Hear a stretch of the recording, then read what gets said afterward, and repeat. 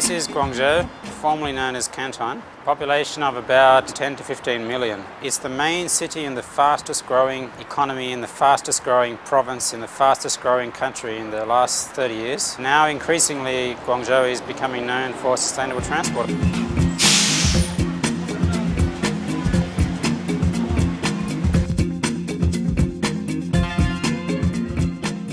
Guangzhou won the International Sustainable Transportation Award this year because of their remarkable new bus rapid transit system. We promote uh, bus rapid transit in China to solve the transportation congestion problems. BRT means bus rapid transit. One word is surface level metro. It's used the high capacity bus and the new bus technology, and it's a real uh, bus priority method. What the Guangzhou BRT has done is to raise the bar. So this is more than three times bigger than any other BRT system in Asia.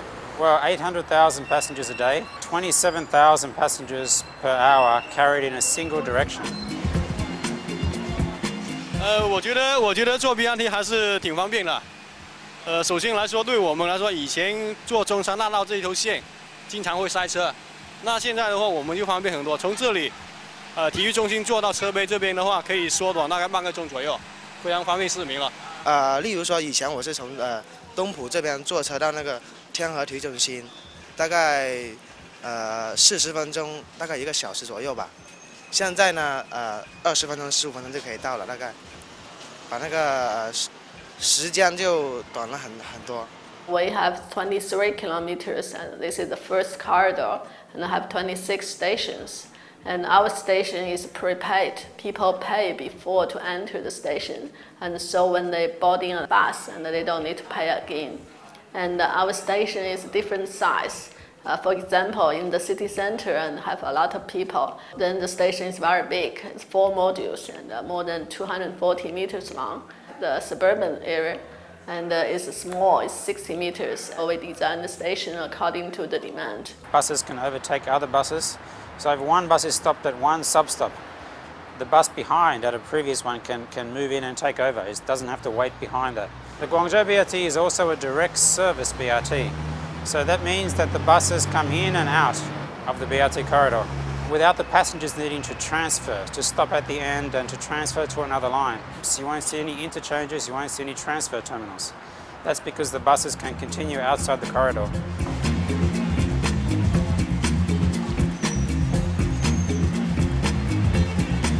Also think about uh, multimodal integration. And for example, in, on this corridor, we have three metro stations integrated with our BRT station. And along the, all the BRT stations, uh, we designed the bike stations.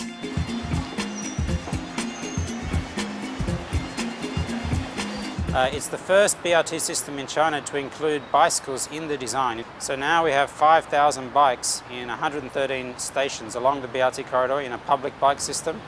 And there were also about 5,500 uh, bike parking positions included in the BRT design.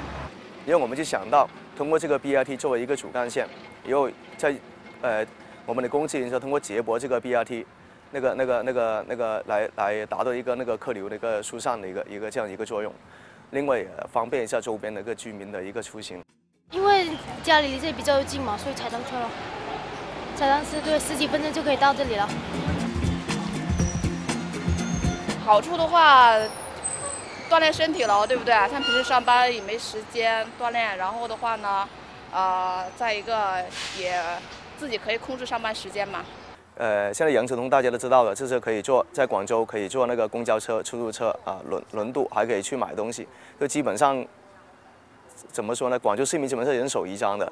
我们用这个羊城通作为这个这个那个支付的那个那个媒介的话呢，就大大的方便了市民，要进行那个自行车的租赁。We also planned the nice pedestrian plaza and urban design along this corridor, also the bicycle facility improvement. So now we are uh, in planning phase to choose the second corridor. And we want to build another one and then can also build a better one. So what we hope now is that new systems can come out and can improve on, on the Guangzhou system.